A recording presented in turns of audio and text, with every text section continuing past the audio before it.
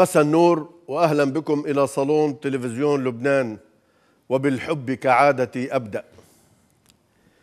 إن أنت أحببت طيرها من الفرح واعرف بها واعرف مزيدا بها من غصة البلح. إن أنت أحببت طيرها من الفرح واعرف مزيدا بها من غصة البلح وإن كرهت فما أنت الوحيد لها ولا تظننها آلت إلى شبحي وبالمحبة أرحب أهلا بضيفي الكاتب التلفزيوني أنطوان غندور أهلا بضيفي الشاعر عصام العبد الله أهلا بضيفي الدكتور إلي يشوعي. ضيوفي الأعزاء أهلا وسهلا فيكم. أهلا فيك. بكم. نسمع. بكم وعليكم. نسمع موسيقى ولا بنسمع شعر موسيقى بالأول؟ بخاطرك. يا حبيبتنا بيروت. هيدي أنا كاتبها وملحنها ها؟ رح أقدم لكم إياها هدية في بداية هذه الحلقة. صالي علينا محدين يا حبيبتنا بيروت.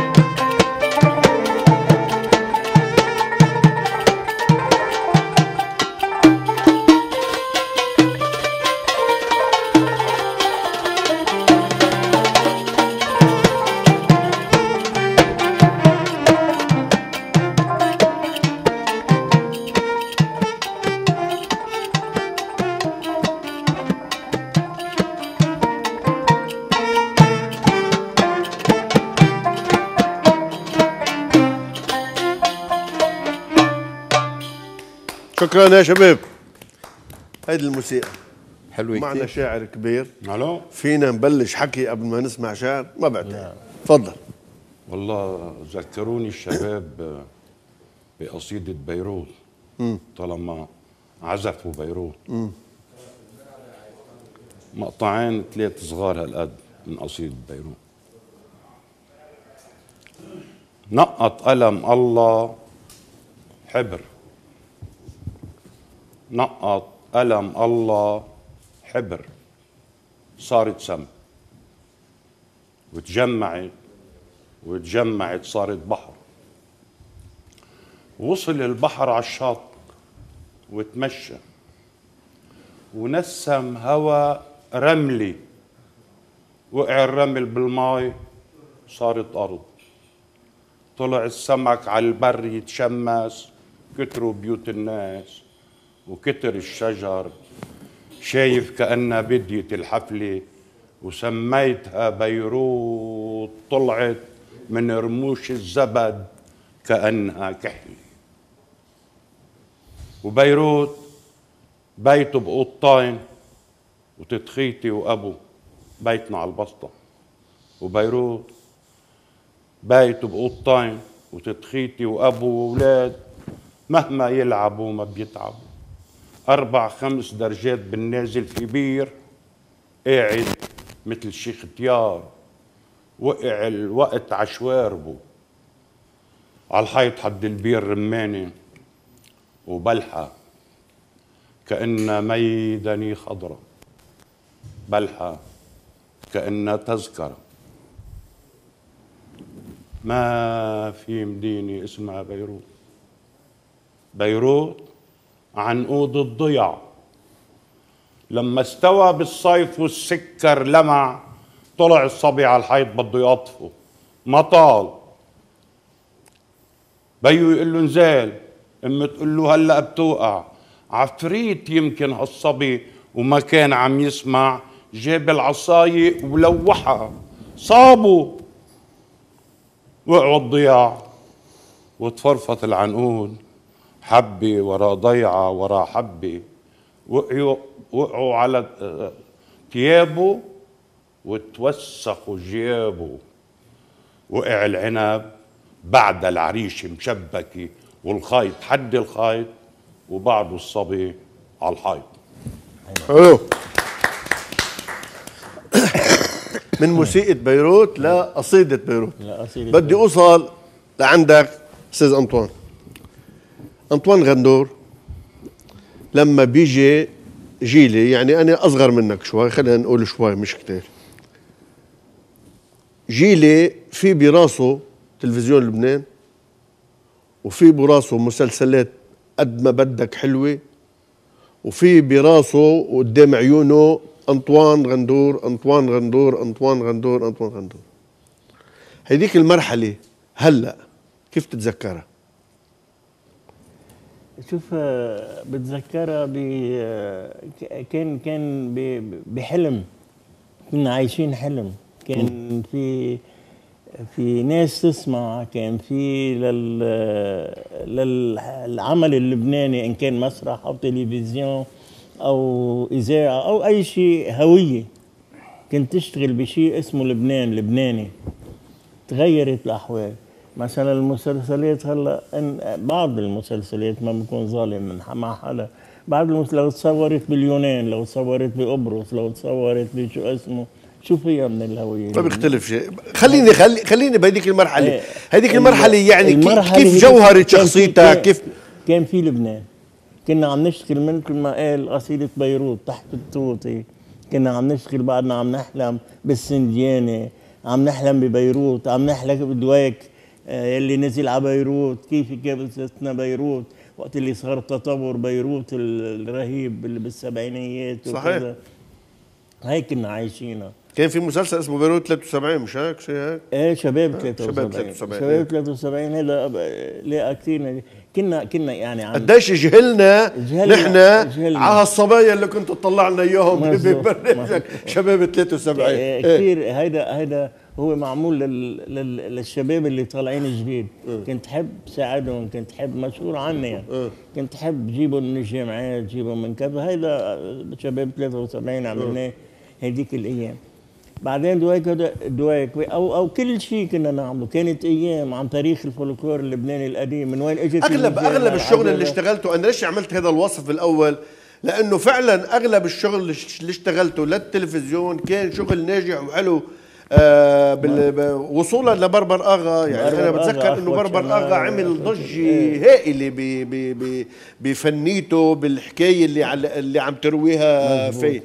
اليوم أنطوان غدور شو عم يعمل؟ أنطوان غندور ما أنطوان غندور بعده عم يحلم إيه. بعده عم يحلم بس بدك نا بدك جو بدك جو يحتمل حلمه ما عادش الحلم له قيمة بهالأيام يعني ما عادش الحلم يعني لحاله. يعطي صعب وإيه لا لحاله بدك علاقات عامة بدك كذا وهذا نعم. اللي بيحلم بيحلم بأشياء شاعرية أو بيحلم بأشياء فنية أو كذا ما عادش بد- بده يكون يحلم بأشياء مادية بده يكون يحلم بأشياء كيف بده يصف آه، لعبة كش حلو بس حلو بالك بتحلم. كيف كذا. بس مش بس بحلم. يعني حكيك عن الحلم حلو. بحلم وبعدني للمستقبل بحلم. بعدني هلا لو بتحطني بعدني عندي الحماس أكثر من الأول. أوكي. عندي الحواس للعطاء بعد الأول لأنه تخمرت الأشياء براسي تخمرت الأشياء براسي. بس مثل ما بدي إياها أنا مثل ما هو حلمي.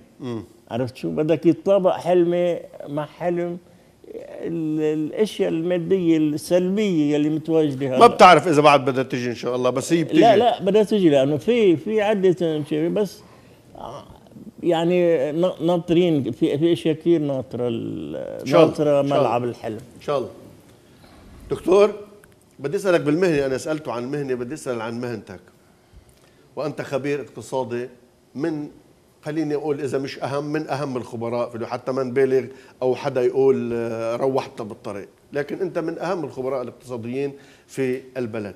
معروف إنه إنه بلدنا من من, من وعيتنا ونحن بنعرف إنه الأرقام في لبنان هي وجهة نظر ولا مرة الارقام كانت أرقام فعلية. يعني إنه بتفرج مثلا على التلفزيون بيطلع واحد بيقول لك إنه الدين العام والعجز والما بعرف شو صار مليار مليار وبيطلع لك واحد تاني بيقول لك صار أكثر صار أقل. يعني هاي عملية الحسبة مليار العملية 100 مليار قديش بيقولوا 100 مليار؟ 70 مليار. بيطلع واحد بيقول لك 100 مليار. طيب في 30 مليار. كيف بتطلع مع الناس إنه الأرقام يلي يفترض هالقد تكون دقيقة هالقد بطاطة كيف يعني؟ وعادة بكل الدول أستاذ عبد يبقى في مديريات مركزية للأحصاء. آه. هلأ بلبنان في عندنا مديرية مركزية للأحصاء بس آه، يعني آه، بتصدر أكثر شيء مؤشر الغلا. أكثر ما بتغوص بموضوع الناتج المحلي وكيفية احتسابه إلى آخره. هلا من يحتسب الناتج المحلي يعني شو بننتج بالسنة من سلع وخدمات بالقيمة هو المصرف المركزي بال التشاور والتعاون مع مؤسسات دولية مثل البنك الدولي آه. وصندوق النقد الدولي إلى آخره بس مثل ما عم بتقول يعني طب العجز أكيد- حدا بيقول لك أكيد. 70 وحدا بيقول لك 100 أكيد. لا يعني ما في هالقد فروقات اليوم آه، مش بنلاقيها عم يقولوا 100 مليار؟ هلأ يقولوا 70 هلأ. يقولوا طب, طب هالمواطن اللي ما عنده هالخبرة ولا مطلوب منه إنه يكون خبير اقتصادي. إنت هلأ نيجي تطلب مني الرقم اللي بدك إياه لنعطيك أفضل رقم بمعنى الرقم الأقرب إلى الرقم الواقع الأقرب الرقم الأقرب إلى الواقع عم لشو؟ بالنسبة هذا لشو؟ العجز ال- ال- العجز اللي بيحكوا عنه ب- بلبنان عجز الخزينة عجز المالية لا شوف تقول لك في العجز هيدا له علاقة بالموازنة السنوية إيه. هو الفرق بين شو بننفق وبين الواردات آه، آه، ال- ال- في الموازنة الواردات شو العامة. هو رقم 70 مليار شو الد- الديون لا تبع هيديك العام. لا دين شوف، العام. ما تقول لك لما بيكون في فرق سلبي بين النفقات وبين الواردات هيدا بيتغطى باستدانة بدين. بقى هالدين هيدا كل سنة كل ما بيكون في عجز هالدين بده يتراكم. قديش صار؟ هلأ نحن تقديرك؟ تقول لك في 75 مليار دولار ديون على الخزينة من الداخل يعني من المصارف ومن الأفراد ومن المصرف المركزي وأيضا من الخارج 75 مليار دولار يجب أن نضيف إليها فائض الودائع ودائع البنوك لدى البنك المركزي اللي بتتخطى الودائع الإلزامية واللي عم بيدفع عليها البنك المركزي فوائد للبنوك فإذا يجب أن نعتبرها دين أيضا على القطاع العام ويجب أن تضاف إلى ال 75 آه، مليار. وهي 40 مليار تقريبا تقريبا 40 مليار دولار أو أقل شوي آه، يعني طلعت من فوق س- المية. أكيد طلعت. فوق المية. آه طبعا بقى هيدي منا وجهة نظر على آه. الإطلاق هيدي طبعا في مراجع وبعدين في شغل شخصي آه. وفي تحقيقات شخصية وفي تحليلات شخصية وفي خبرة طويلة عم بتوصلنا إلى نتائج مالية للبنان فعلا منا كتير مشجعة وما ما- وتدعو فعلا إلى القلق. إلى إلى القلق لذلك أستاذ عبد تفضل الش- الشيء اللي ذكرته هذا العجز آه، بالماضي كان في قاعدة ذهبية كانت كل الدول خصوصا الدول النامية والفقيرة والمتخلفة ولبنان دولة من تلك الدول كانت القاعدة الذهبية تقضي بأنه تلك الدول وخصوصا دول العالم كلها يعني تقريبا توضع موازنات متوازنة. يعني شو عندنا واردات؟ بننفق عقد ما بنجبه مش أكثر من ذلك. لكن صار في نظرية مفهوم كونسبت جديد بدك تعتبر من 30 أو 40 سنة أنه هذا العجز السنوي في الموازنات العامة مقبول شرط أن يساعد في تحقيق نمو اقتصادي إيه. أعلى. يعني بمعنى إنه هل هل هل هل هالعجز هذا عم ننفقه على إشياء مفيدة على مشاريع مفيدة ممكن أن تساعد الإنتاج تساعد الناتج إلى آخره تساعد النمو. لكن هون صار في أبيوس. أبيوس شو يعني؟ صار في استغلال لهذا المفهوم من قبل الحكام الفاسدين للدول النامية والمتخلفة.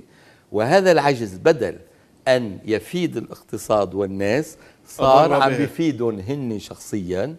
وبما إنه صار مسموح هذا العجز مشيوا فيه وصار في إفراط ومبالغة واستغلال.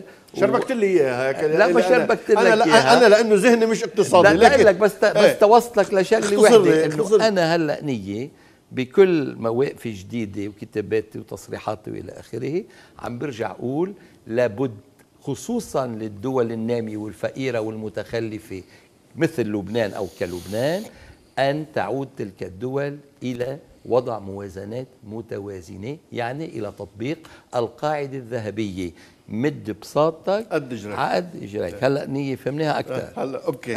هلأ لك لك ما احلاهم ضيوفي يا أستاذ عصام. ما عليهمش. إنه أستاذ أنطوان حكي لنا عن المسلسلات وأيام العز. دكتور إلي حكي لنا عن الاقتصاد. نوصل لعندك بدنا نحكي عن الشعر. وأسألك أنا واسال واسالك واسالك لك. رجعنا رومانسيا شوي. جبنا على الواقع. هلأ أنت بترجع تروح فينا لا رومانسيا. عجورة أنا. عصام في بالشعر المحكية.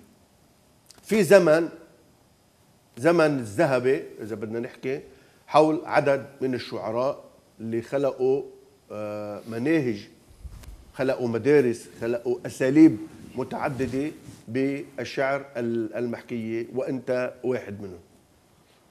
بدي أسألك على المستقبل.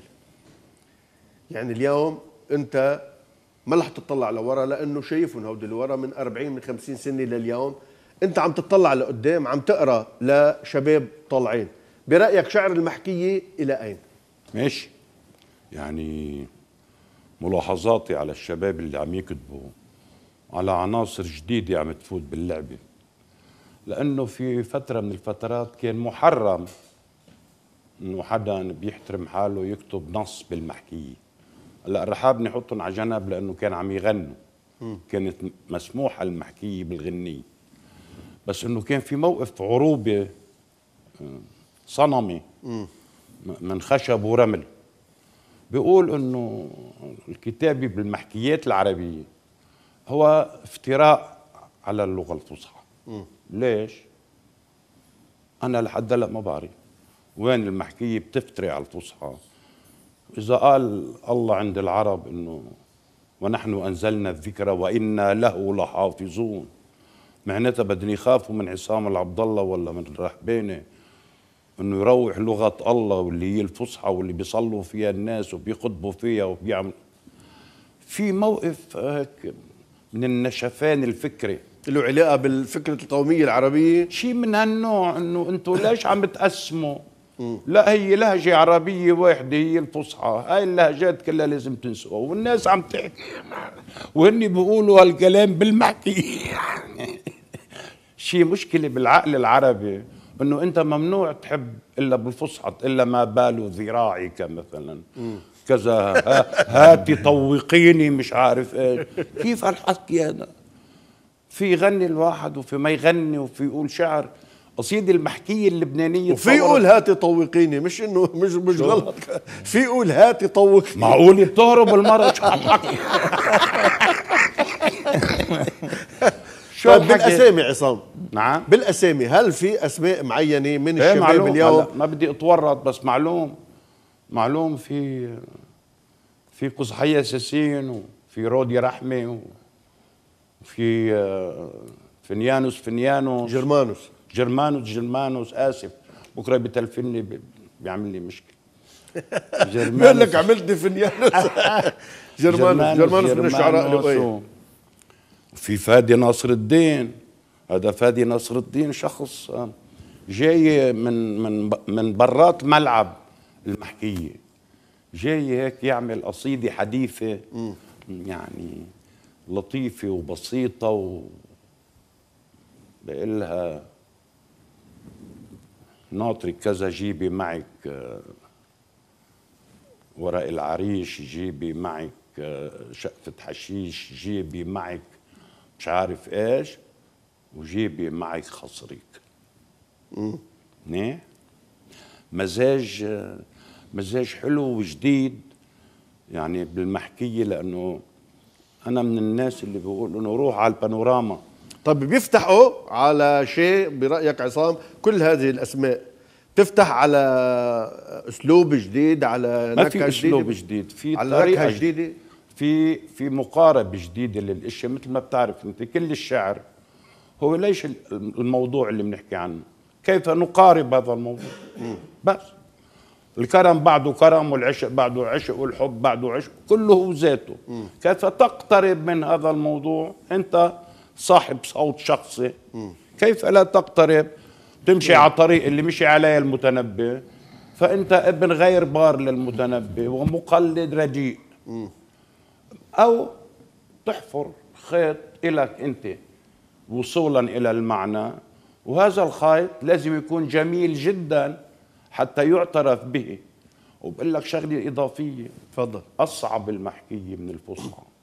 ما حدا بيصدقني. أصعب. في طوبار بالفصحى فيك تستعمله وتتكي عليه وتشتغلي عليه بالمحكية. ما في شيء اسمه نظام وقوانين فيها قوانين العروض بس وما تبقى مشافهة. لذلك أنه أصعب أنك تفوت بنت الملك على الحفلة الملكية. ليكون إلى محل. ولا أنك تفوت بنت البواب. المحكية عند بعض الناس بنت البواب والفصحى هي بنت الملك.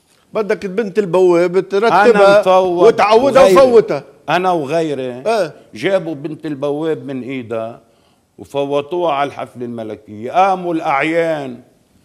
أهلا لنا الأكثر أناقة والأكثر جمالا والأكثر ابتكار والأكثر حضور والأكثر كذا بينما بنت الملك محلها محفوظ. عم وبعد الحفله شو عملت فيها؟ عم ندق راسنا بالحيط شو؟ بعد الحفله شو عملت فيها لبنت البواب؟ خليتها رديتها على على الباب ولا لوين؟ وين؟ ولا رحت فيها؟ لا ما بدي اوصلك أنا خلينا نروح مع الفاصل اللي علينا ونعود فنكمل الحوار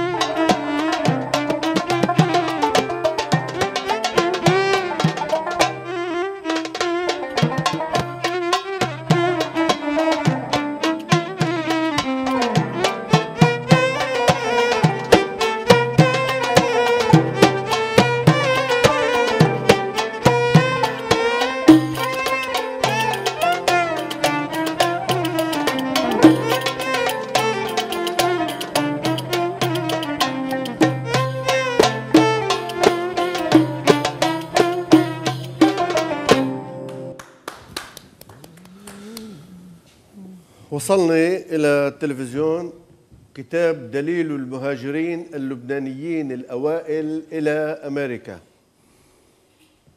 اللي كاتبينه سلوم مكرزل وحبيب قطش. المهاجر الدليل المهاجرين اللبنانيين الأوائل إلى أمريكا مطلع القرن العشرين.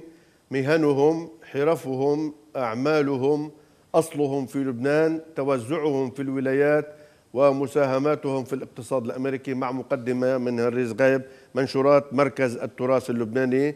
آه، في ثبت كامل قد يكون لتقريبا شيء حوالي المئة سنة بالولايات المتحدة الأمريكية للبنانيين اللي راحوا شو كانوا يشتغلوا وشو كانت المؤسسات اللي فاتحينها وبأي مهن وشو أصولهم بلبنان واللافت للانتباه أنه حتى الورق المستخدم ورق يبدو للوهلة الأولى وكأنه عبارة عن وثائق قديمة لكنه هو ورق مستخدم ورق قديم.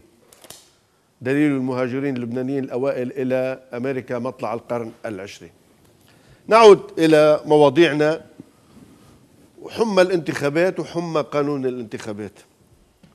قانون الانتخابات صار له بيطلع شي ثلاث سنين بيروح وبيجي أربع سنين بيروح وبيجي بيقرب وبيأخر وبيثبتوا ببعض الحكومات بيرجع الحكومات الثانية بتقول مدري شو ناقصه. وصلنا هلأ يبدو كأنه نحن أمام حائط. أنا مش رح أسأل عن قانون الانتخاب شو بتتمناه أو كيف تتمناه هذا طبعا ضيوفي بدهم يقولوا بس أنا بدي أسأل هل يعني أنتم من الطبقة أو ما بعرف إذا فينا نسميها طبقة لكن الفئة المثقفة يعني من النخب كل واحد بمهنته. قدرت فهمتوا شيء عن قانون الانتخاب وين رايح شو هو الاحتمال الأبرز اللي ممكن نوصل له ولا لا؟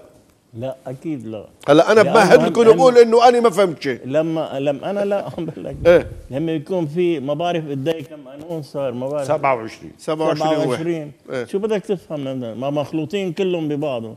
هيدا آخذ عن هيدا ورجع اخذين عن هيدا ورجع اخذ هيدا. عن هيدا وصاروا كلهم مخلوطين وما في وما فيش خلطة يا ريت في خلطة. إيه. ما فيش شيء يعني بقى بعد شو اسمه كل واحد عم بيغني على ليه وكذا. مش مسألة مش هيك. أنا برأيي بيتعالج الموضوع. الموضوع بكل بساطة بيتعالج بمصلحة وطن. مصلحة ما نحن بنقول إنه يعطوه لأهل كل الاختصاص اعطوه لأهل الاختصاص عم بيشوفوا من خلال المصلحة من خلال مصلحتهم بالوطن. إيه أستاذ أنطوان نحن بنقول إنه يعطوه لأهل الاختصاص وأهل الاختصاص هن يعملوا أنه طيب. انتخاب. عطوه لفؤاد بطرس ومجموعة من الفهمانين بهذا الموضوع. طيب. وطلع قانون فؤاد بطرس. وهلا ما عاد حدا عم يطلع على قانون مضبوط بقول لك ليه؟ ولو عمل واحد مثل فؤاد بطرس هلا وغير فؤاد بطرس وما راح يرضوا غير ما يكون الواحد عم بيشوفوه من كل واحد من ناحيته الشخصيه من ناحيته الشخصيه شوف في مكاسب وشو في أضرار. كلهم سوا عم بيشوفوه من هالناحية. طيب هي أنا رايي رأيي بدها لجنة حيادية. لجنة ما يكون لهم علاقة بالسياسة أو علاقة بالمصالح أو ما فيهم كمان. أه؟ ببلد مثل لبنان ما فيهم. ليه؟ ببلد مثل لبنان هالقد موزعة طوائفيا ومذاهبيا ومناطقيا. لأنه ببلد مثل لبنان لازم يكون حيادي. مثل فريق الفوتبول مثلا عندنا نحن. أوقات وقت اللي بيختلفوا كذا بيجيبوا واحد من برا حكم من برا. يجيبوا بالانتخابات حكم من برا. يشرحوا له القضية كيف لبنان مركب وكيف كذا. خليه يحط لأنه الوحيد اللي مجرد بيكون. متصرف ألماني. متصرف ألماني؟ إيه متصرف ألماني الألماني.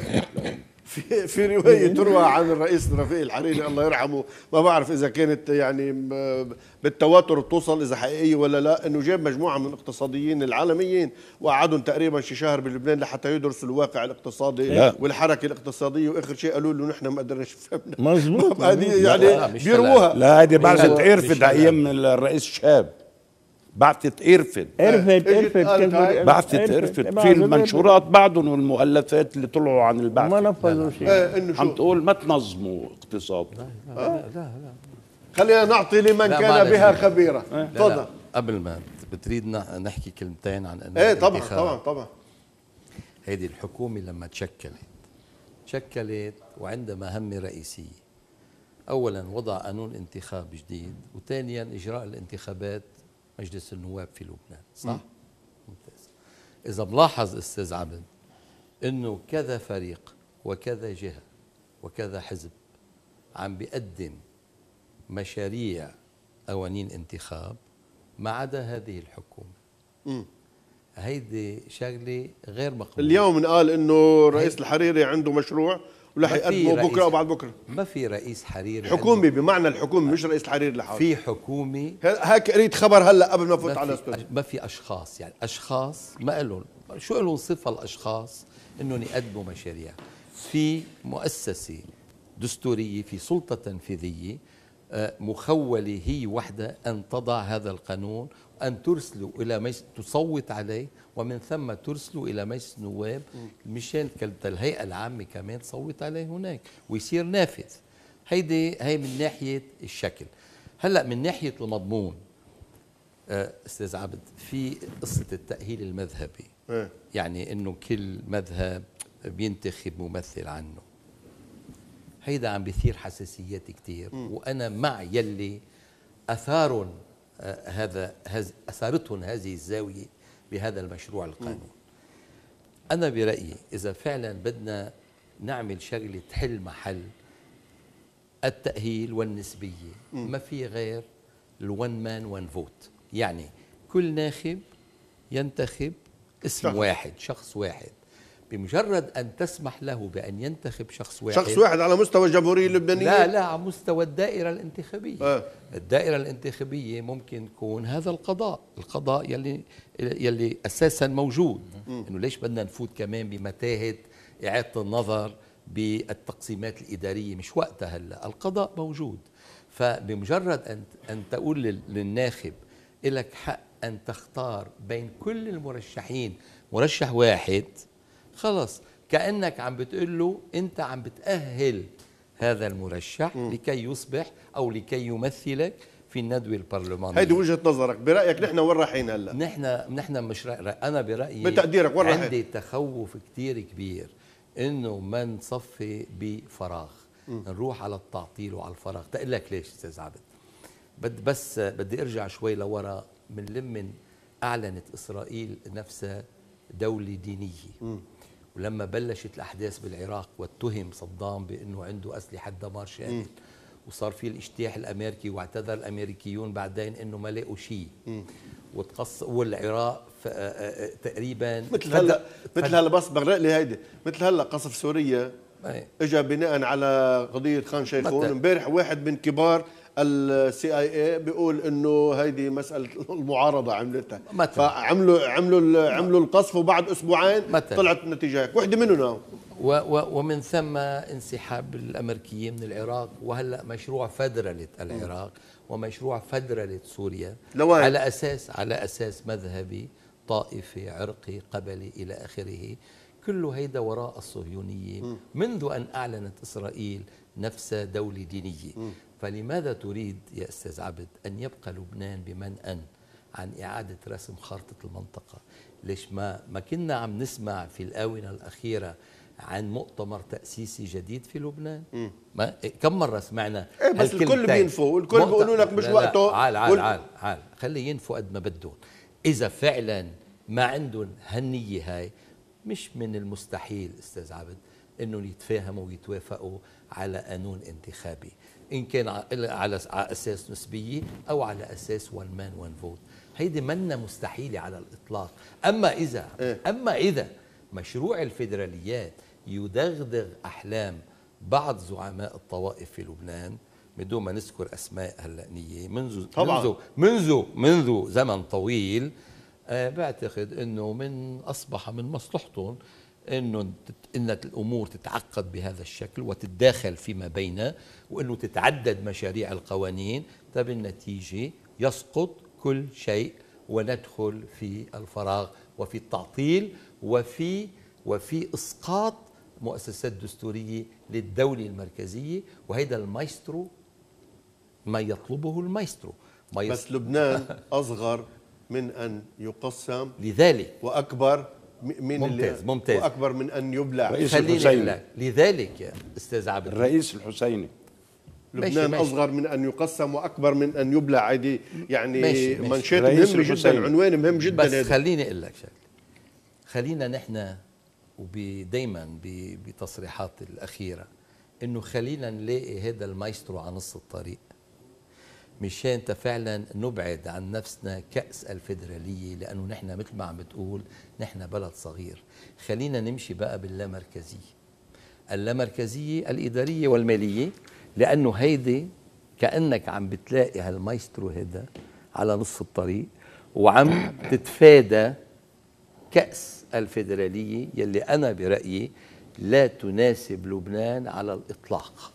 أستاذ عصام نعم. فهمت شيء عن الموضوع ال- آه، قانون الانتخابات؟ لا والله ماني فاهمين شيء بس في شيء فاهمينه 100% إنه؟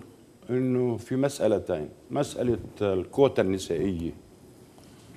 يعني زعجتني كثير هذه المسألة احتقار للمرأة. هي المرأة وصلت على الجامعة بلا كوتا وصلت على الإدارة بلا كوتا وصلت على القضاء بلا كوتا وصلت على مطرح ما بدها توصل قد ما فيها توصل توصل. بس ما هي المرأة عم تقول نحن بدنا الكوتا. شيء عجيب من النسائية شيء. إحدى عجائب الدنيا السبع. هاي لا. استقلال المرأة وحريتها وكرامتها وإنه لا مش ضروري تقوم من القطار وتقعدها مطرحك لأنه هي مساواة بين الرجل والمرأة. وإذا هون بتطلب عكيزة ساعة بتطلب كراجة بعربات بدها تنقلها من محل لمحل. يعني صارت كتير يعني كتير القصة مفضوحة انت بت- ضد الكوتا النسائية أكيد احت- طيب هن احتقار لحظة، للنساء لحظة. هاي المسألة. أنا ببرنامجي هون استقبلت أكثر من سيدة من سيدات ال على إيه واللي بيحكوا بهذا الموضوع واللي بينظروا لهذا الموضوع بيعتبروا إنه هيدي مرحلة أولى مرحلة أولى بشكل إنه يتعود الجمهور اللبناني يتعودوا لا، لا. السياسيين اللبناني إنه يكونوا نساء أنا عم أقول لك وجهة نظر المرأة في لبنان. هود يعني النساء اللي عم يطالبوا انتهازية هاي وجهة النظر. تسمح لي أعطيك تفضل. شوف بهذا الموضوع الكوتا النسائية ظلم للنساء وظلم للمجتمع. ليه؟ ظلم للنساء لأنه يمكن ربما خذ مثلا القطاع المصرفي بلبنان اللي بيوظف 25 ألف شخص. 45% من النساء و55% من الذكور. تصور عاملين كوتا نسائية للتوظيف في القطاع المصرفي ما بت- 20% أو كذا. كانوا هوديك انحرموا من مثل هذه الوظيفة. فليش أنا بدي أحط كوتا للمجلس النواب 20% من 20 سنة كانوا بالقضاء بدهم يعملوها ورجعوا ما عملوها. فإذا- أو صاروا الق- القاضيات أكثر من, من- شو عليه؟ شو آه. شو المانع؟ اذا في. اذا بيستاهلوا يصيروا أكثر. ما, ما ما في في, مشكلة. اي مانع. في اليوم منافسة. بين الجنسين على كل الوظائف الموجودة والمتاحة إذا عمل أما إذا يعتبره- ظلم ليش ليش ظلم للمجتمع؟ ظلم للمجتمع إنه إذا حطيت أنا كوتا 30% وما في عندي 30% نساء مؤهلات أن فعلا تدخلنا تدخل إلى الندوة البرلمانية. هذا ظلم للمجتمع.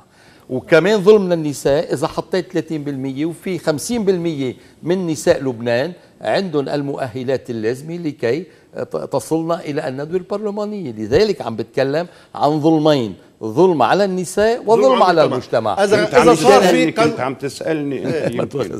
لا معلش كان عم يسألني. قلت لك أول وحدة الكوتا النسائية بدي إيه. أقول لك الثاني يلا. ما بدها؟ كيف ما بدي مسألتك الثاني الخوف من المؤتمر التأسيسي اللي كان عم يحكي عنه الدكتور. في حدا بيقول إنه الشيعة صاروا بمرحلة ما عادوا يقبلوا يكونوا محمولين بالنظام السياسي محطوطين على حساب السنة. إنه السنة بيحكموا رئاسة مجلس الوزراء ومجلس الوزراء هلا. والسلطة التنفيذية. هلا وين فوتني؟ وين فوتك بدها وين فوتني بالدهليز أنا عم حكيك. أنا والله عم عم مسؤول. برأيه. يمكن يحسوا جماعة إنه لا هن بدهم آه، حصتهم بالدستور. ما قالوا شيء بالدستور. ولا بيذكروا إنه الدستور ولا بيقول عنهم شيء. حلوها بالطائف إنه قالوا لهم أنتم بتاخذوا وزارة المالية فبتمضوا كوزير مالية على كل المراسيم طيب فترة من الفترات الرئيس الحريري كان وزير مالية. طب هو ما, ما لهم حضور بال- بالنظام اللبناني.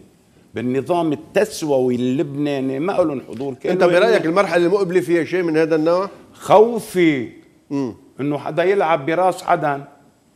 إنه فعلا أنتم ما لازم تقبلوا. والمثالة منيحة. بشلحوا شقفه من السنة وشقفه من الموارنه وبياخذوا شقفه دول عم وبيرجع؟ بيركب شو عم البلد تحكي يا أبو حازم؟ هذا نوع من. هذا التخ... هذا خربان البلد بده يجي بهذه الطريقة. وأنا برايي رأيك أنت في حدا عم يقول لا مش البلد خربان. هذا خربان البلد. فلذلك مش موضوعي ها مش هناك أنا قلت لك وين فوتني.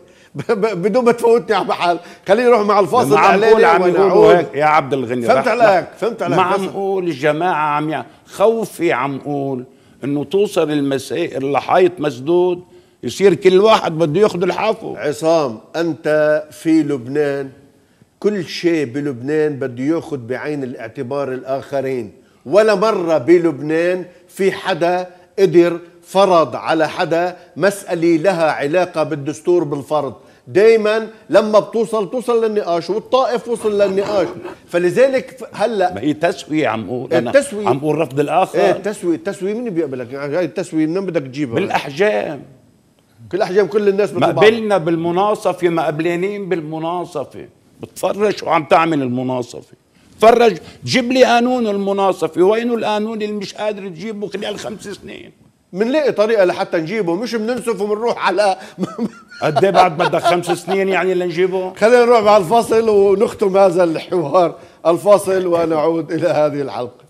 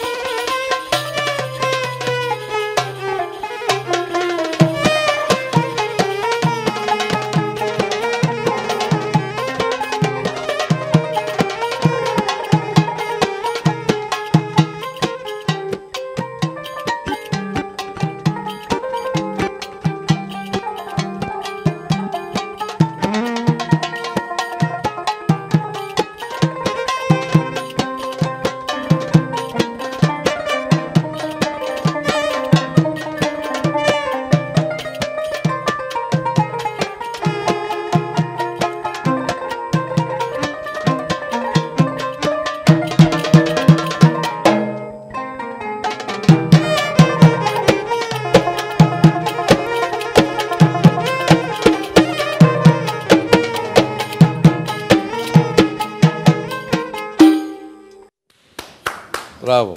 نصل إلى فقرة أنت والحياة أستاذ أنطوان آه. أنت والعمر. أنا والعمر. هلأ تقعد هيك بينك وبين حالك بتصير تتحاور مع عمرك. شو بتقول له وشو بيقول لك؟ ليك قضية العمر آه، ما منا منا كتير بالنسبة لإلي يعني إنه خلص. أنا دايما بفكر إنه العمر ما له مقياس يعني ما له مقياس. إنه العمر ممتد معك. يمكن بكرة يمكن بعد بكرة يمكن خمسين سنة يمكن بدك إذا بدك تحط مقياس العمر ما بقعد فيك تعمل شيء ما بقعد فيك تعمل شيء بدك تنسى إنه قضية العمر إنه بكرة عم يمرق. بعد بكرة أو بعد في بكرة. خوف من العمر الجاية من السنين الجاية؟ آه، هلأ في خوف دائما الخوف موجود خصوصا باوضاع مثل اوضاعنا ما بتعرف بعد ما في استقرار دايم يعني ما في كذا. ما في استقرار لك ما في استقرار لأولادك ما في استقرار ل لمستقبلك لوطنك. يعني في في كثير علامات استفهام. جاية بس بدك تطلع على كلهم إنه بدك تضمك تشحن نفسك بالحماس. تقدر تستمر. لتواجه إيه. دكتور أنت والعمر كيف تتعامل مع العمر؟ أول شيء أنا راضي تعد سنين ولا ما أنا أنا راض عما فعلت لغاية اليوم. وماني نادم على شيء على الإطلاق. وكل يلي عملته عملته وأنا أمين جدا مع نفسي مع ذاتي. والحمد لله أنا ما بعت واشتريت. لا فكر ولا موقف ولا كلمة ابدا. كان دائما كلامي نابع من قناعة. ونابع من مصلحة جماعة مش من آه، مسائل شخصية على الإطلاق. والحمد لله المال الذي جنيت هو مال حلال وهيدا أنا أعتز بذلك. والعمر بالنسبة لإلي كل ما بتمرق الأيام وكل ما الإنسان بيثبت على هيك أمور. كل ما فعلا بيصير يفتخر بنفسه وبيعز نفسه أكثر وأكثر بيصير فعلا يكتشف كم هو مهم الإنسان عندما يكتشف في ذاته إنس كامل إنسانيته. في الفعل هيك. وقديش الإنسان ممكن يكون عنده محبة متدفقة في داخله لل- للآخر وقديش ممكن يكون عنده شر وعنده حقد وعنده أذى للآخرين. يعني ممكن الإنسان أن يحمل في ذاته النقيضين. واضح. منيح فلذلك يعني مش ممكن البني آدم على طول عنده النقائض ما في شك لأنه مثل ما بتعرف الإنسان هو موضوع تجاذب بين قوتين قوة الخير وقوة الشر وهو بالنص. وهالقوتين بدهم إياه وهالقوتين عم بيتحاربوا عليه وكل واحد بده يشده من صوبه وهو بهالنص. عرفتي لكن عم تسألني عن العمر الحمد لله أنا بالنسبة لإلي هو اجتياز الصحراء. الحياة على هذه الأرض بالنسبة لإلي كاجتياز للصحراء. ما بتطلع لورا. بتطلع دايما لقدام وبنقول الحمد لله أن وصلنا لهون.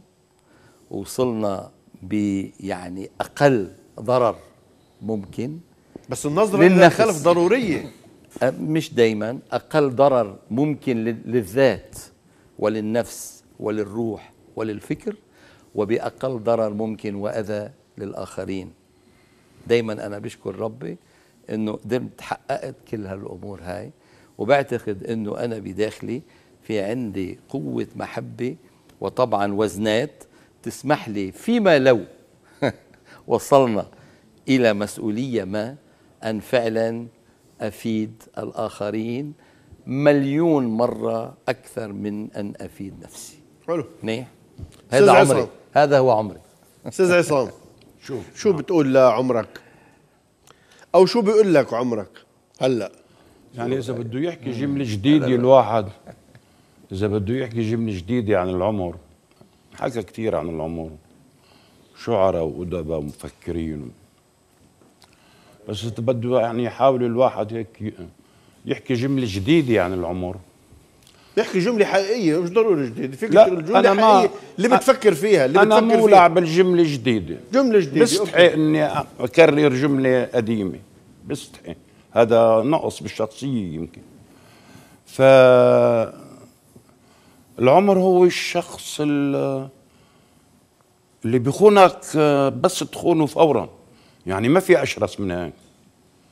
مجرد ما تدق فيه وتخونه ب- ب- بينطر لك بيلط- بيلطالك ورا القصب وبيطرقك ال- ال- الفيلم مثل ما خنته بخونك.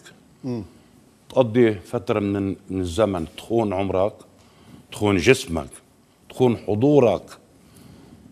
تعمل وت- وتسوي وما, وما تسأل وما تنتبه. و و لحتى توصل على محل بيطرقك الخيانة مجلجلة هو. بصيروا ينقلوك على الحمالة وبتصير على الكراجة وبتصير على الكذا خيانة فورية بيعملها معك. إيه. نيالهم نيالهم اللي اهتموا بحالهم انتبهوا لحالهم هني وصغار لحتى ما ما يخونوا العمر والعمر ما يخونهم. أنا خائن. خائن للعمر. معروف عندك. إيه. يعني. بشراسة كمان. إيه وبشراسة. وحتى الآن بعدني هيك بتستهوين خيانة العمر ومش فارقة. مثل اللي قال له للعمر هدي. قال له العمر زهقان ما بدي الفاصل الأخير ونعود فنكمل الحوار.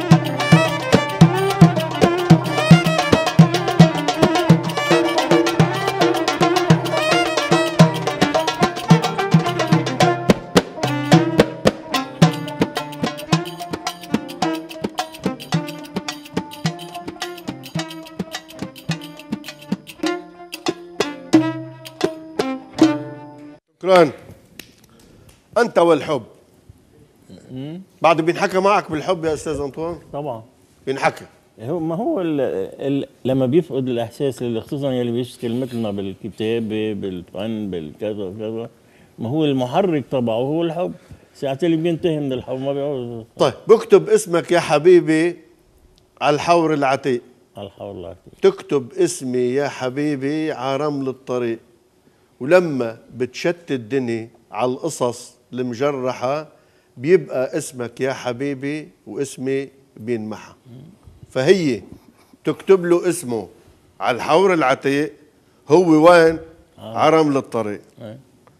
مين أبقى؟ مزبوطه أول شيء الغنية هاي مين- مين أبقى حبه؟ الرجال أو المراه هون الرجال بيكتب له اسمها على رمل الطريق بضل ماشي بالشتي على الحور العتيق بتبقى. هن اثنين اثنين مش مش ال- مش نضاف. مش نضاف. منيح شو عم يحكي لها؟ الحب اللي حكى عنه هو مش عن حب النسوان حكى عن الحب العام بشكل عام. بس هلا بعد نحن أنا لا هلا عن النسوان نحكي. الحب النسوان شو؟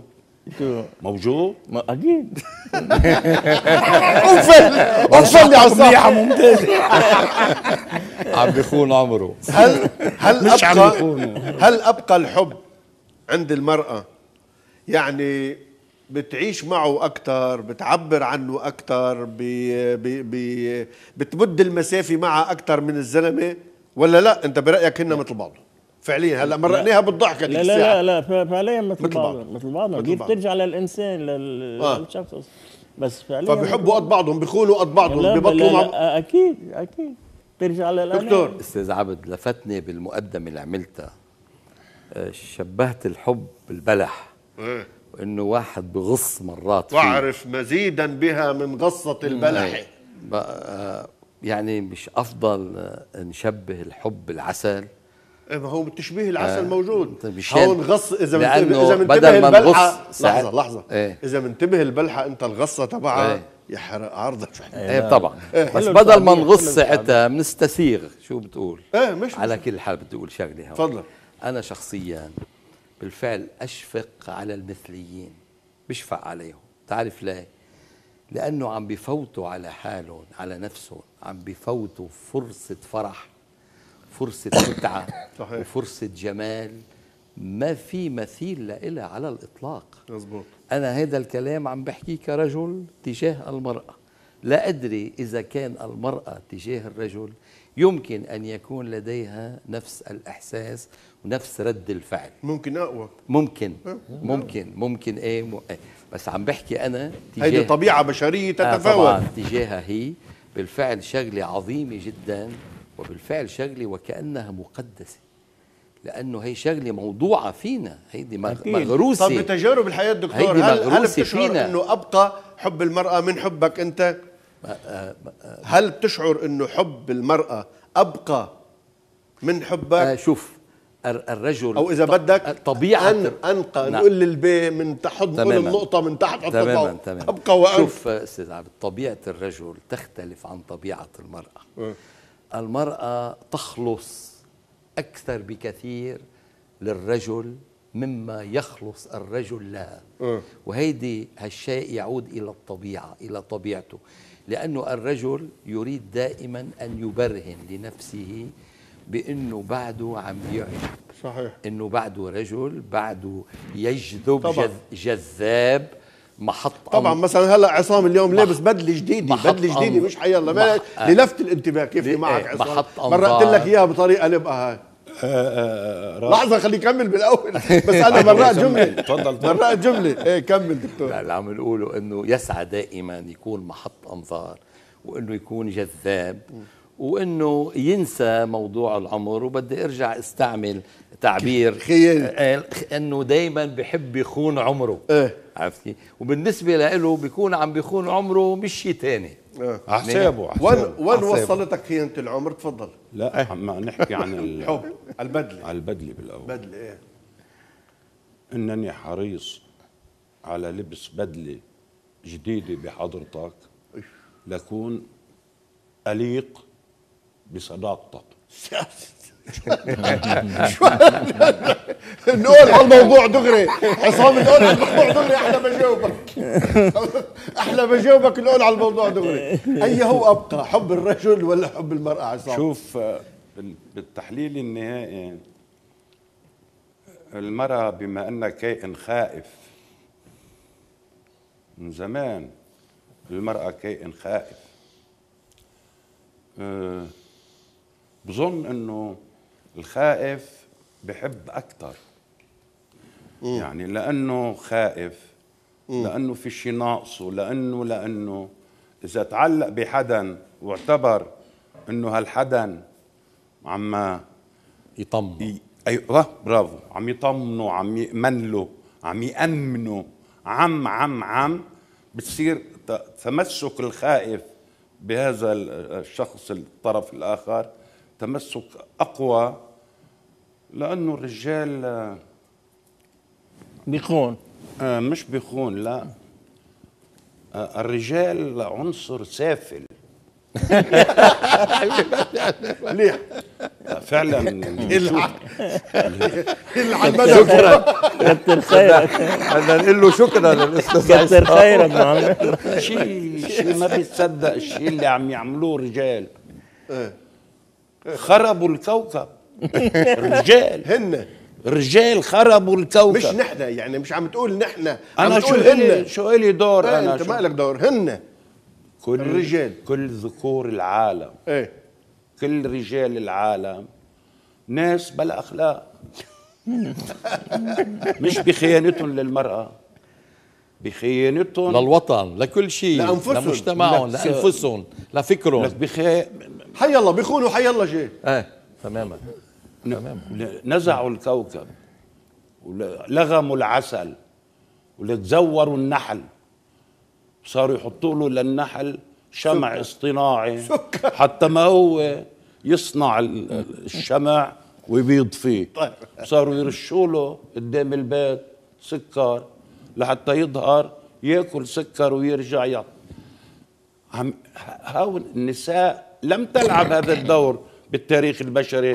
كما لعبه الرجل لذلك في عندك بس الرجال. ما تنسى في نسوان مثل شهرزاد مثل كذا أهم كثير مخانوا أكثر من الرجال وعملوا أكثر وعملوا لا لا بقصد انه انه إنه هي الغلط بترجع بترجع لل... لل... الغلط للإنسان. الكبير. للإنك...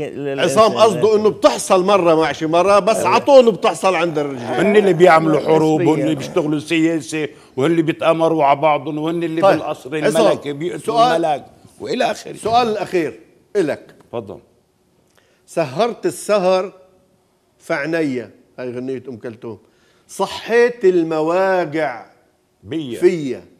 كل ساعة وكل ليلة وكل يوم. بعد ما اطمن عليك حيجيني نوم. شيء رائع. بعد ما اطمن عليك إنه كل ساعة بعد ما اطمن عليك حيجيني نوم هل الرجل طفل؟ هذا طفل اللي عم تغني له أم كلثوم سهرت السهر بعينيا صحيت المواجع فيا كل ساعة وكل ليلة وكل يوم بعد ما اطمن عليك حيجيني نوم هل الرجل طفل؟ قديش الرجل طفل؟ طفل إذا كانت المرأة امايه آه في الست الزوجة الزوجة الامايه الزوجة ال- اللي بتعطي ثمر بتخلف أولاد. بصير الزوج تماما مثل ما عم تقول الغنية. بصير تخاف عليه مثل ما بتخاف على اولادها أما الزيجات اللي أما النساء اللي ليس لسنا أمهات بصرف النظر عن احترامهم لسنا أمهات هالشجرة ما حملت. صعب تقدر تعامله. هذه المعاملة إنه ما تنام لحتى يتلفن لها بس يتلفن لها يقول لها جيت ساعتها بتنام. بتنام قبل ما يتلفن وقبل ما يجي أصلا بتقول له روح لحالك يعني هلأ أم حازم اذا إذا ما جابت لك الدواء الصبح الصبح بتعرف تأخذ ام الدواء؟ حازم أم حازم امايه ما هي عم أقول لك إياه. إذا ما جابت لك أم حازم الإدوية الصبح بتعرف تاخذه لحالك؟ جابت لي بتفوت على الأوضة وراي بتشوفني كيف عم بلبس عم بلبس حتى إذا صار في يعني غلط أو كذا إلى آخره تعطي ملاحظة تتدخل هي. يعني. إنه لا البوس هاي ما تلبس هاي البوس هاي ما تلبس. حلو. دكتور هل الرجل طفل؟ هل تشعر أنك أنت طفل بالعلاقة مع المرأة بلحظة من اللحظات؟ أنا أشاطر الأستاذ عصام رأيه بالفعل. آه، في في نساء يعني هن بطبيعتهم عندهم النزعة نزعة الأمومة كتير آه، آه، يعني متطورة فهالنزعة هيدي نزعة الأمومة بيمارسوها ليس فقط على الأولاد بيمارسوها على أزواجهم صحيح. أنا أشاطر الرأي مئة في المئة وبينما في كمان نساء آه، يعني. عندهم عن آه، بيديروا. بيديروا ظهرهم وما فرقانة عندهم شيء على الإطلاق بس قديش بيستسيغها دكتور قديش بيستسيغها الرجل إنه شوف، يعني مش- قديش بيلعبها إذا بدك كتير. أحيانا إنه هو طفل لا وبده مش إياها هي شوف مش مش إذا كبر بالعمر طبعا. لا مش كتير مش كتير لك شوف تقلك مش إذا كبر كتير بالعمر يا بلا. لا, لا يمكن ربما بس تقلك شغلة لأنه آه، آه، آه، إنسان بحب اولا أمه لغاية عمر معين لكن ما بيقدر يضله تحت تنورة أمه واضح. كل العمر أنا بعرف رجال بالفعل تحت تنوره ز- آه، آه، آه، نسوانه. بقى- لأنه هودي ما قدروا طلعوا. قاعدة تحت تنورة المرأة غير تحت تنورة الأم. لا لا لا لا لا لا تحت تنورة المرأة كأم. انتبه إيه. لأنه ما طلعوا نفسيا بعد سيكولوجيا بعد ما طلعوا من تحت تنورة أمهم هيدي هيدي خطرة كتير على الرجل التابع لزوجته. قديش فيك طفل يا أستاذ أنطوان؟ هو هو هو ال- الاحسن أحسن حب بالنسبة للمرأة هو حب الرجل الطفل. آه. الطفل لأنه عفوي بيكون تضحك عليه. لأنه صادق ما- لا لا لا لا مش مش- بيجوز هو يضحك عليه احتمال. بيجوز هو يح- يضحك عليه احتمال قليل هي تضحك. يعني بس ال- ب- بالفعل أنا برأيي بتكون سعيدة كثير لأنه حتى حتى حتى سيئاته بتشوفها منيحة بتصير فيه. لأنه في في عنده في عنده بيصير آه، انه عم تحكي مع إنسان بريء بإنسان طفل في شيء من البراءة. يعني ما, ما- لازم ننساها. صحيح هي على كل حال صورة كثير واقعية. بس بتعاقبوا أحيانا. إيه طبعا فيها وبراءة فيها. الأطفال في عينيه ال- اليوم الأفضل عاد كأن شيئا لم يكن وبراءة وبراءة- الأطفال في عينيه زار أبين هلا بس الأفضل لما ما بتعود تعاقبه يعني لما بتصير المرأة المرأة بتبلغ من الأمومة مرحلة بتصير أقوى من أن تعاقب. لا، هذا إذا استسلم. لحظة لحظة. بتصير أقوى من أن تعاقبه فيعاقب نفسه مظبوط. هو إذا غلط بشيء. يعاقب نفسه أكثر مما لو هي قالت شيء أو آه هيدا الشعور. بالذنب. آه، هيدي آه، شغله آه، هي خطرة آه، كثيره آه، لا لا آه. هيدي شغلة إذا كثير ضميره خطرة. ملتهب يعني إذا ضميره اذا إذا ما إذا ما في ملتهب ضمير إذا ما ملتهب ضميره لا يعجز. مجرد ما يعجز بصير يقبل تعامله كطفل. بس قبل ما يعجز لا لا لا. مش بعرف. بعرف الرجال اللي عندهم طفولة طفولة وهن وهن بعز شبابهم. هيدي بتبلش بال- بالبني مع بالك بتختلف. هلا هلا هلا عم نحكي كلنا هلا بيختلف من نسبة- إنسان نسبة- للثاني. وبينتخ بيختلف كمان من. ورا للثاني صحيح. كل ما في بس عم نحكي بالنسب العامة قاعدة الإجمالية عامة ما في بال بال- بهاي بالحياة العاطفية طبعا مختلفة لا، حسب ما الرجال وحسب النسوان. لكن في إلى حد ما شوية قواعد عامة يعني إيه طبعاً، أو إيه، إط- قواعد أطر عامة. عامة يفترض إيه. يفترض فأنا ضيوفي الأعزاء بدي خصنا على؟ هذه الحلقة خلاص. الجميلة شو عم مر, مر الوقت بشكل سريع. و- وشو قالوا لي إنك فتحت فيسبوك أو شيء لأنه اليوم شفت المير طارق نصر الدين وعامل بيتين حلوين إنه قام مثل قيامي بدون شك فشو هو فعص... فعمهلك عمهلك. فعباس غدا شيخ الحكاية. أخذ فعباس عباس قصده عباس بيضون يلي أخذ جائزة ال- الشيخ زايد للرواية. للرواية عن روايته خريف البراءة. فعمل لهم بيتين إنه قلبت الدنيا كلها فوقاني تحتاني وإجت القيامة بدون شك. فعباس غدا شيخ الحكاية وصار عصام شيخ الفيسبوك. صديق. قال- قال فتح؟ لشغله فظيع. صديقنا تميم البرغوثي حبيبنا إيه. الشاعر اللطيف الفلسطيني وبيو مريد. اثنيناتهم بمروا علينا بنقعد نحن وياهم إلا بده يعمل لي فيسبوك لك يا مريد ما أنا ما بعرف اشتغل عليه هذا وتليفوني يمكن ما بيلبي. قال لي مبلا بيلبي هذا مزبوط. واشتغل لي وحط لي موقع بس آه، ودرت على بس الرسائل وما ملاحظة. بعرف رد عليها. اجى 600 رسالة بده يرد عليها. لا لا بس ملاحظة صغيرة. هيدا الفيسبوك هيدا فخ كبير. يعني أنت بتفتح الصفحه هاي بس هاي الصفحة بدها أمانة سر. مشان فعلا تتابع مدير مدير دغري كيف لغاه لكن دغري واحد لغاه مؤسس بدها أمانة سر وإلا واحد يسكرها أحسن. عصام لغاه أنت معك خبر أنا أحسن. كل شهر بيجوا بناتي بيقولوا لي بديش أشوف لك شفيح على الصفحه صار كذا صار كذا. مرات بجاوب مرات ما بجاوب. بس عصام لغاها فورا. وأنا برأيي ريح وأنا شخصيا كمان فتحتها ولغيتها بعد 24 ساعة. أصدقائنا اللي عم يشوفونا يكبروا عقلهم. ما يصدقوا ما يصدقوا الاشاعات شكرا كلها. شكرا جزيلا اصدقائي. واعزائي اعزائي المشاهدين إلى اللقاء في حلقه الأسبوع المقبل مع مقطع من كل دا كان لي محي الدين الغالي حضرنا غنية تاني كل شوي بيعمل لي كل دا كان ليه مشان الشباب وقيمة الشباب كل دا كان ليه